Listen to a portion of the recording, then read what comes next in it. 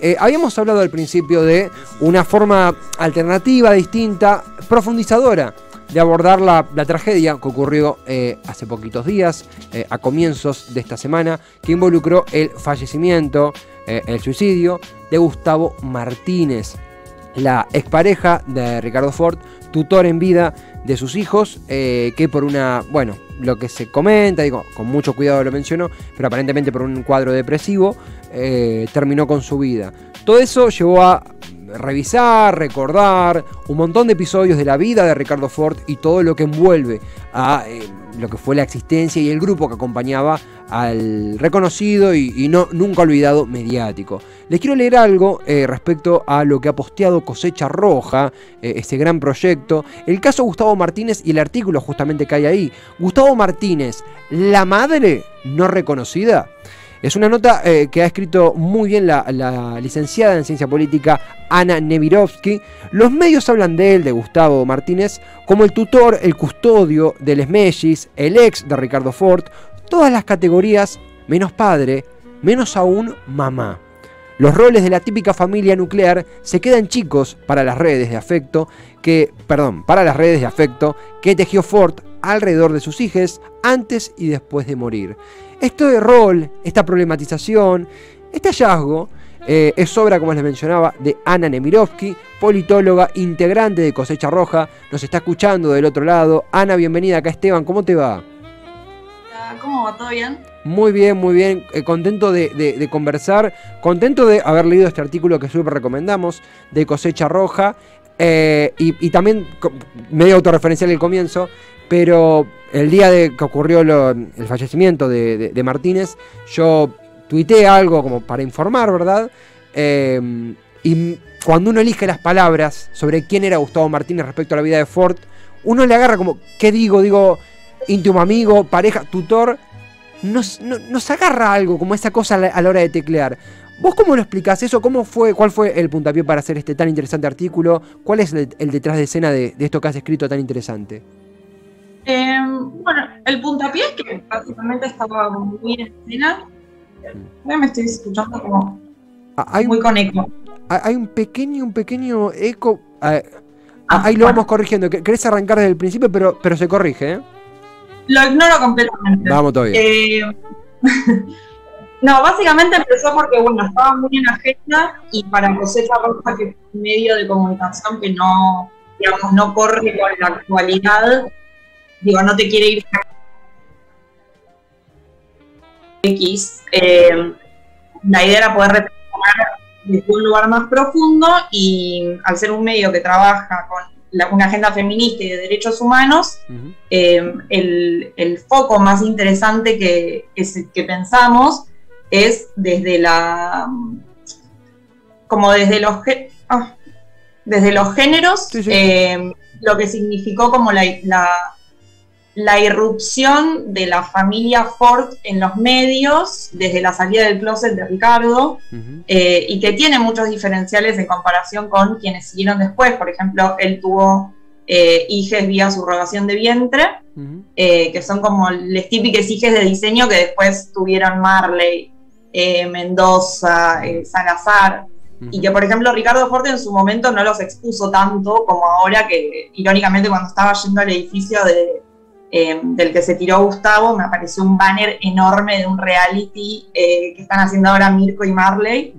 Eh, entonces era como interesante cómo irrumpió esa familia y lo que saltaba a la vista muy rápidamente era que los roles paternales o maternales de tanto de Ford como Gustavo eran, estaban muy, eran muy confusos incluso para las personas dentro de la familia. Y había, habiendo como evidencia tan, eh, digo, hay videos de, eh, de Felipe y Martita diciendo como, bueno, era papá, era mamá, Martita dice como, bueno, Gustavo es nuestra mamá. También hay un video de Gustavo y de Ford en el que el, Gustavo dice como, no, no, papá no, papá y uno solo, porque eso genera confusiones después en, en chiques. Y, Ricardo diciendo, no, no, sí, los pensamos, los pensamos juntos, somos una familia, es papá Gustavo también. Y él como, no, no, no, yo soy padrino. Entonces me pareció interesante cómo ni siquiera para las personas que estaban creando esa familia no convencional que propone nuevas formas de crianza de hijos, ni siquiera para ellos era claro cómo, cómo se estaban distribuyendo los roles de cuidado y de afecto y de amor eh, hacia sus hijos. Eh, es, es, interesantísimo. El, el, el, rol jerarquiza, digo, eh, incluso por más que estemos, intentemos estar más desconstruidos y demás, padre tiene una connotación política, madre tiene una connotación política, digo, todo tiene una connotación y un rol que podemos discutir, ¿verdad? Pero, pero heredamos, digo, está, lo problematizamos, pero también lo heredamos. Algo que, también me llamó la atención, un toque por fuera nomás, que es que vos, bueno, sos licenciada en ciencia política, y a veces debatiendo con amigos, muchos decían como, che, qué bueno que, gente que haya estudiado, gente formada, aborde este tema con sus categorías, y otro era como, no, che, eso es mediático, es mediático, déjate de hinchar. Eh, yo estoy del otro lado, yo creo que está bueno. ¿Sentís que esto ayuda a problematizar y a debatir un poco los roles en esta especie de, si se quiere, descomposición o repensamiento de la familia nuclear? ¿Es un caso aislado? ¿Cómo lo sentís vos respecto a cómo impacta esto en la sociedad? No, recontra. Me parece que, recontra contribuye, eh, que verlo como algo exclusivamente de la farándula eh, o mediático es como muy reduccionista y no es, digamos, no es una pelea mediática entre eh, Cintia Fernández y Janina Torre. Esto es un nuevo tipo de familia que irrumpió en, la agenda pública y en primer plano, porque en ese momento Forte era como el, ser más famoso de Argentina, que para mí es súper interesante su figura porque fue como el último gran famoso antes de las estructuras de fama que tenemos ahora, que son muy de nichos. Eh, no me acuerdo en qué podcast escuché como que, creo que era Martín Garabal, diciendo como, yo no es que voy a cualquier lado y me reconocen como en su momento era como Franchella, Susana Jiménez y un par más.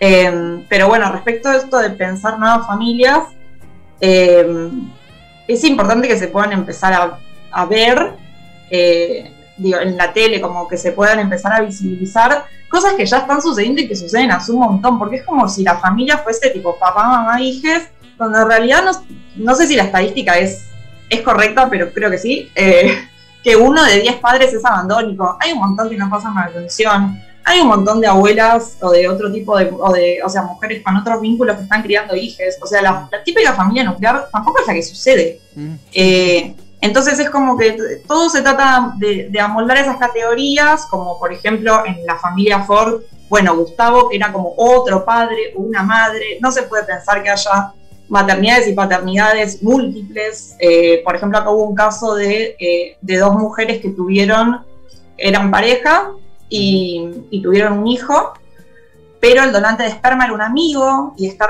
y está registrado como a nombre, entre comillas, como si fuese propiedad, pero del estrés. Eh, el otro día un, un juez reconoció, en el caso de, de un chico que tenía como el quien lo había criado era la pareja de su madre y, siempre lo reconoció como padre. Eh, y ahora el biológico estaba como volviendo a tener contacto.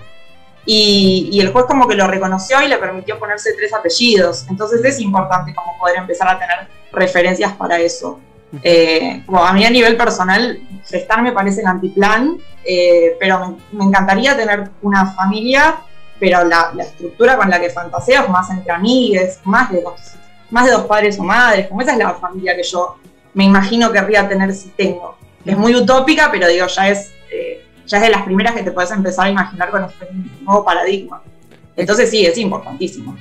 No, sí, eh, eh, como, mira, yo no, estoy recibido, digo, estudio actualmente ciencia política y tenemos a veces mucho la, impresión de sociales de todo es una construcción, pero está bueno aplicarlo más allá de, de que a veces algunos amigos los cansamos con otros ejemplos, pero esto de que efectivamente la familia tiene un componente subjetivo significa que es una construcción, digo, eh, afortunadamente, digo, bueno, está en, el círculo que uno circula, ¿verdad? Hablo, por mí, uno ve que hay una descomposición de esa idea de familia nuclear, digo, todo lo hemos visto, incluso con los que somos hijos de padres separados, ya tenemos como algo de, che, bueno, me parece que esto de ese casa, tres hijos, el auto, el perro en medio, que es una cagada y que no pasa.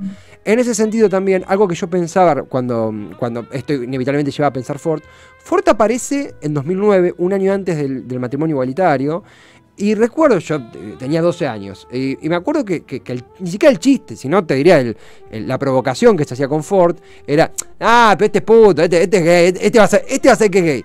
eh, en, un, en un país que yo creo que aún nos faltan bastantes pasos para hacer una sociedad igualitaria, pero en este momento mucho más adelantado que en 2009, hoy lo veo y digo, qué, huevones que éramos, o qué huevones que era la, sociedad, qué huevones que éramos, que la sorpresa era si el tipo se acostaba con otro tipo, y el tipo por ahí elegía no decirlo por decisión propia.